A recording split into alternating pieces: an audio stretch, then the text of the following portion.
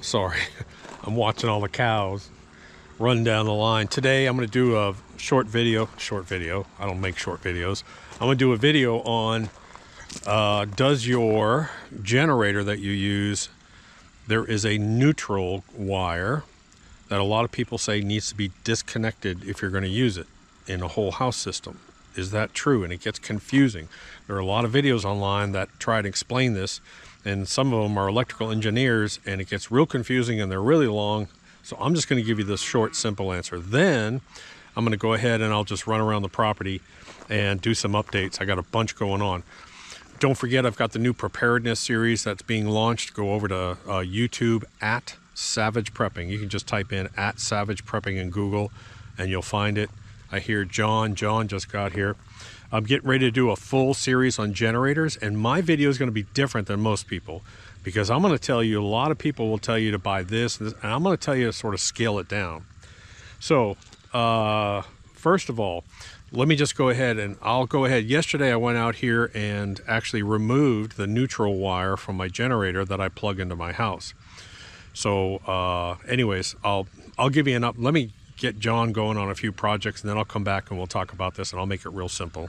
We've been out here working all morning. Sorry, John just left. Been up since 5.30, actually did a little deer hunting, whatever. Okay, so let, let me explain this generator, this neutral bond. They call it a floating or a bonded neutral. You only want to have one system. That's all you have to understand. You only have to have, you only need one system. That neutral bond needs to be connected to the ground if within once during that whole system. So if you're running a generator out here in the field and you're plugging in and running power tools or whatever it is, yes, that neutral and ground need to be bonded together because that completes the whole circuit. That is considered one system. A generator by itself is considered a system. Now, where you need to remove that neutral bond is when you make that generator part of another system. Okay, let me cut in and make this real simple. This is a generator. If I plug in an extension cord and put that extension cord through my window and then plug in anything I want via that extension cord into that, that is a system. Therefore, there needs to be a contact point between the ground and the neutral wire. However, as soon as I hook up my generator whole house plug, so as soon as I take this and now I run this into the generator, which then runs over here and that feeds and that feeds into my panel, that now this generator becomes part of this one system. And so what you need to do is you need to disconnect the neutral wire, tape it up, because otherwise you're going to have, oops, otherwise you're going to have two systems connected at the same time. Again, generator by itself is one system. You plug an extension cord in there, you run whatever you want, your refrigerator, whatever.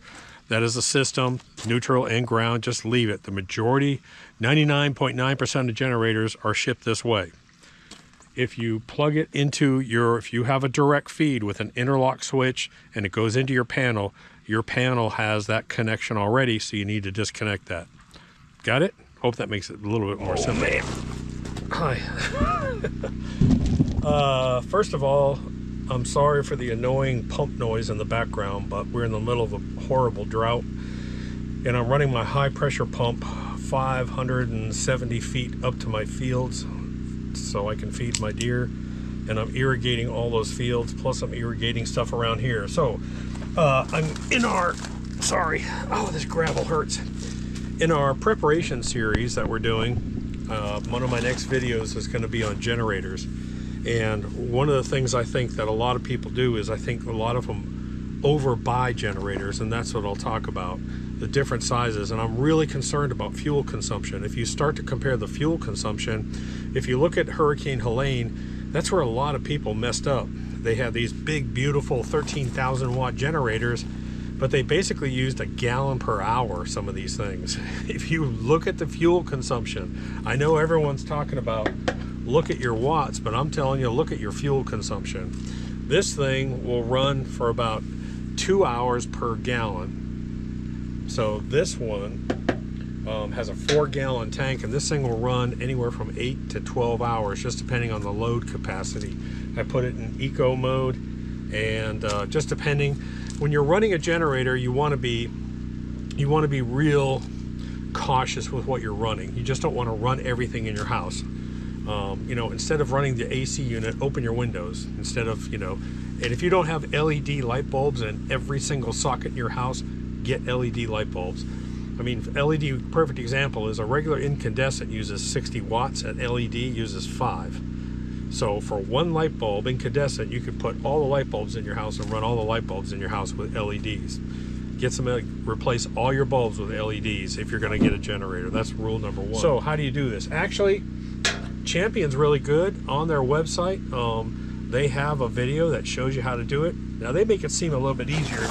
Basically, there's six screws on the front of this generator and hopefully you can find a video on yours that do it. And you got to turn this thing all the way upside down. And there's one bolt up under here where the ground and the neutral connect on that one bolt.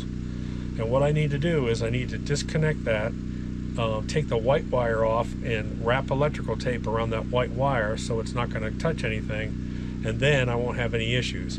At that point this will I'm supposed to legally I'm supposed to put a new label on here that says that it's um, not neutrally bonded or grounded. So that's so you understand that. So you don't want to take this out now and take it off and run it on a job site because there's no, again, no longer is there a neutral ground to this system. Step 2. Gently pull the front panel outward and locate the white bond wire. Step 3. The white and green yellow wires are connected to the panel to bond the neutral. With a 7mm socket, remove only the white wire and leave the green yellow wire in place. Completely cover the end of the white wire with electrical tape so it won't come into contact with anything else behind the panel. Replace all panel screws and tighten securely, and reverse these steps to convert your unit back to bonded neutral. So this is where it really can pay to have an electrician come out and do this for you. Uh, have them come in, install the interlock, install the generator switch, and make sure everything's right. But let me give you another tip, and that is uh, go buy one of these plug testers. Now, the plug tester, they're not that expensive. Once you, I want you to go ahead and shut off everything, do a test run with your generator if you have an interlock, and then go and test a couple outlets in your house, and it'll tell you is there are there any issues. More than likely, you should be good. Now, in the video I have coming up, the generator video I'm going to do, I found probably one of the best Hurricane Helene videos, aftermath videos, that goes directly into what I was saying in my previous video. Everything, every single thing that this guy talks about, he was without power for 12 days, internet for 14 days, and I'm going to put a link to his video everything that he was talking about, I, I, start to cover in this series about the amount of gas you should have, what size generator you should have. Should you be buying these big generators, which I don't think you should do? I'll show you what you should be doing and how to buy the right generator. We'll talk about Generac. We'll talk about whole home systems. Are they worth it? Is it a good investment? We'll cover a bunch of that stuff. And I'll also show you a couple of my top picks for the size of generator that you might need because it's going to surprise you. So make sure, please do me a favor, go over to Savage Prepping at YouTube. It will help us out. Just subscribe to that channel. If you didn't watch my last video, I got a hawk out here terrorizing my chickens. That's why they're not out. They're brand new run that we built them. They only come out if like we're out here supervising them. They're a bunch of babies. Uh, a video I have coming up, if you want to subscribe and make sure you catch this one. Uh, I had my uh, my grader come out and he we brought in, we raised this area up almost 12 inches two days ago, my concrete guys came out and they built this form. This is going to be a poured slab. This is 18 by 40. The footer is going to be 6 by 12. You can see the rebar inside of it. And then John and I, before they did all this work, John and I came in and we dug in a sewer pipe. We dug in a sewer pipe, uh, a water pipe, and an extra two inch just in case they want to snake uh, electrical in here or something. So uh, I don't I don't know that we'll ever hook up sewer out here, but you might as well do it. just in case you might as well have a pipe sitting there. Otherwise, you got to cut through the concrete. So that's all set. They're coming this week Friday to pour this. And then the building, which is an 18 by 40 steel metal building, uh, it's going to look like the barn a little bit. Dark red, silver roof, pull-up door, side door, and five windows. Um, I'll do a video on that. I'm guessing it'll start uh, in about four weeks. Should be pretty cool. So uh, coming to the end of this video, I want to make one quick note. Someone put a comment on one of my last videos and said, Doc, I've been told that even during the fall and the winter, I need my I need to water my lawn once or twice a month. And I think I answered you.